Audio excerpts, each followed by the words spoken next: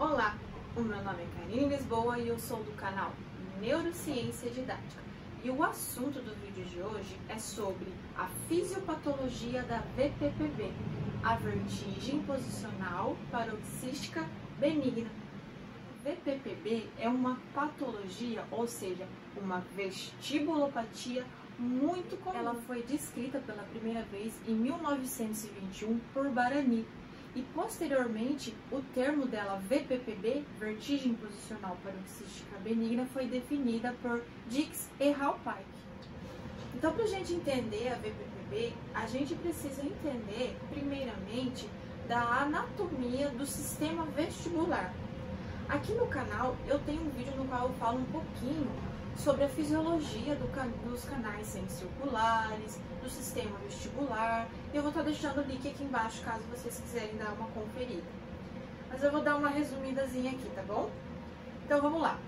Então lá dentro do nosso ouvido interno nós temos o que chamamos de canais semicirculares.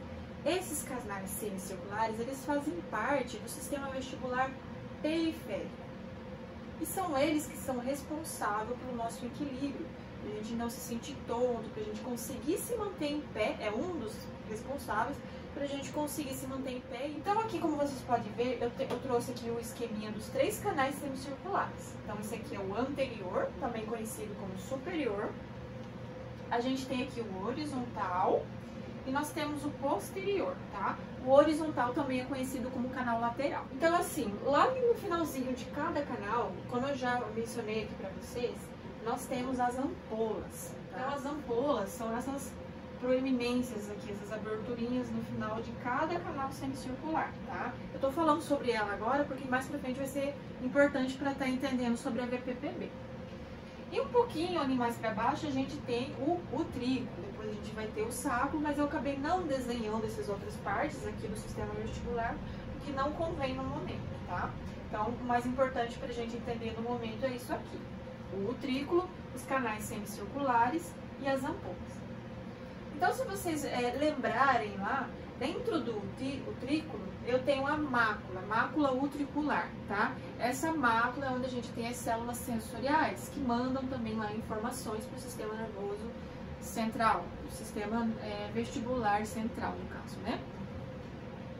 Então, a mácula, é, aderida a ela ali, a gente tem tais de carbonato de cálcio, tá? Esses cristais, quando a pessoa ela apresenta uma crise de VPPB, significa que um ou, ou mais desses cristalzinhos se deslocou dessa região aqui do utrículo e foi para dentro de um desses canais semicirculares.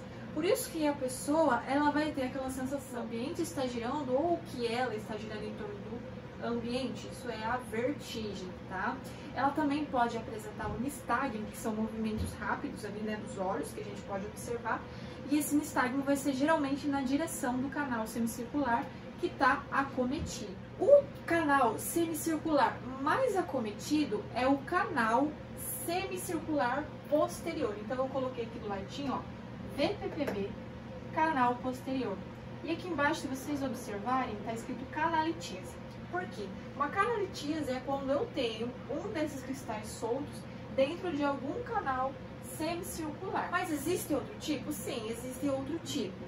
Existe a, o AVPPB do tipo cupulolitíase, tá? E vocês já vão estar tá entendendo um pouquinho mais pra frente.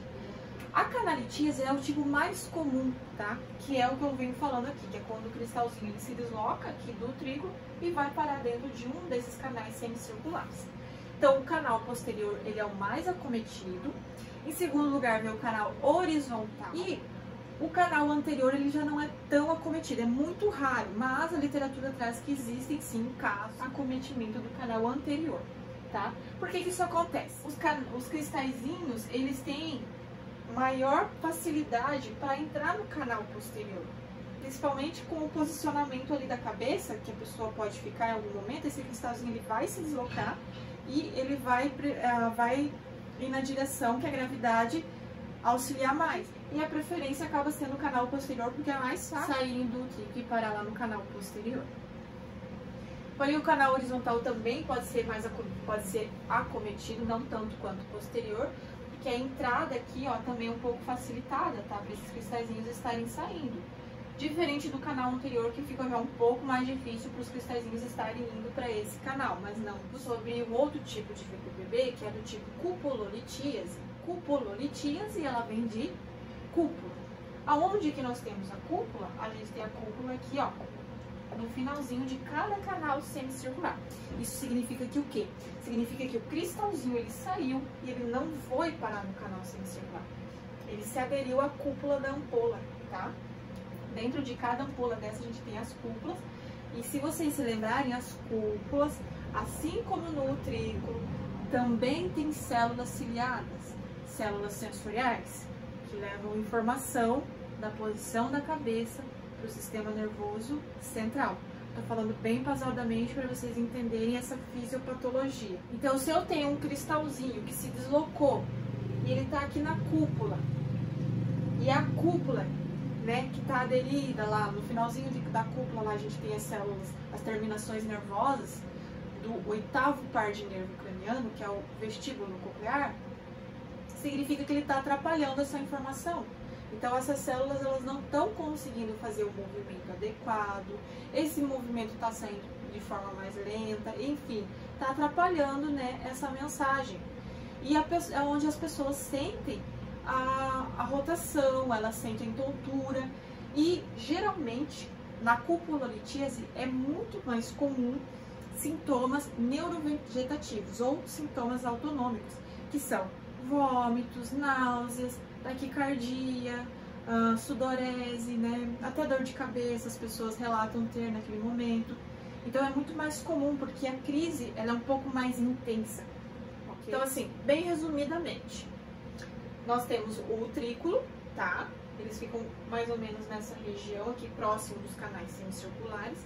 Dentro do utrículo tem a mácula utricular. Mácula utricular tem células ciliadas.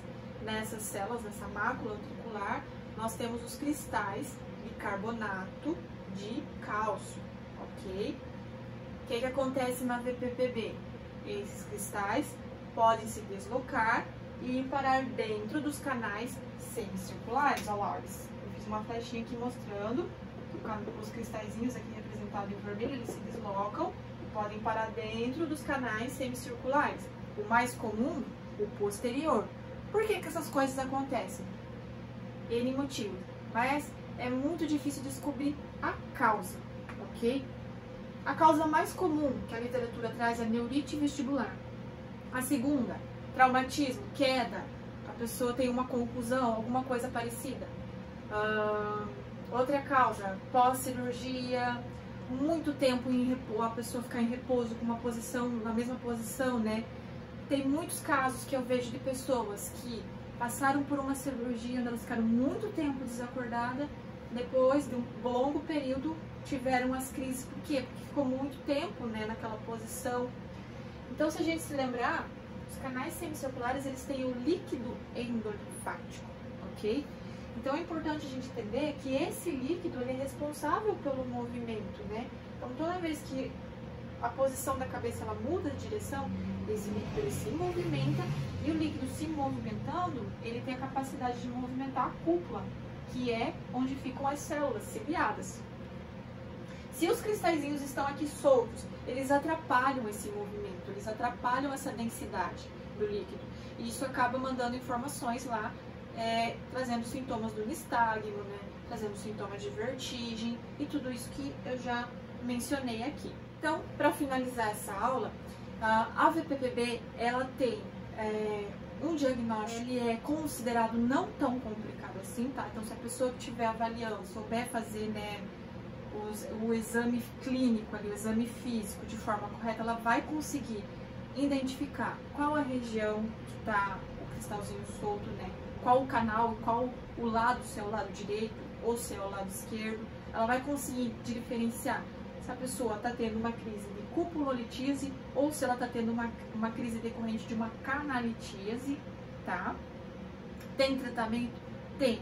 E o tratamento, ele é um tratamento que é feito através de manobras, tá? Essa manobra é feita pelo profissional e os cristalzinhos que estão ali soltos no canal posterior, eles vão poder voltar para o lugar se a manobra ela for bem executada. Tem muitas manobras, ok? Mas isso é feito por um profissional capacitado.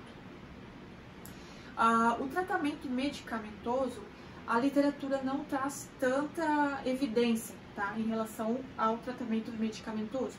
O que, que acontece? O medicamento ele vai trazer os sintomas eles vão diminuir. Por exemplo, a pessoa pode não estar tá sentindo mais tantos sintomas autonômicos, náuseas, vômitos.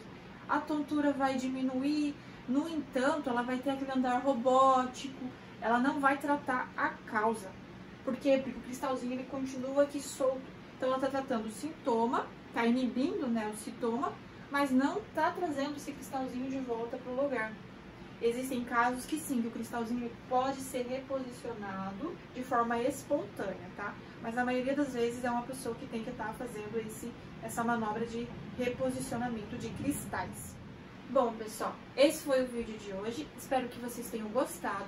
As dúvidas vocês podem deixar no, nos comentários sugestões, sugestões de vídeos. Eu procuro, na medida do possível, estar tá sempre respondendo aqueles que solicitam, que fazem perguntas. Peço que, se possível, deixe o seu gostei, né? Deixe o seu curtir, se inscreva no canal, porque isso ajuda muito a estar tá trazendo mais vídeo aqui para vocês, está trazendo mais conteúdo e é um prazer estar tá podendo ajudar todo mundo aqui que adora esses assuntos. Um beijo para todos e até o próximo vídeo.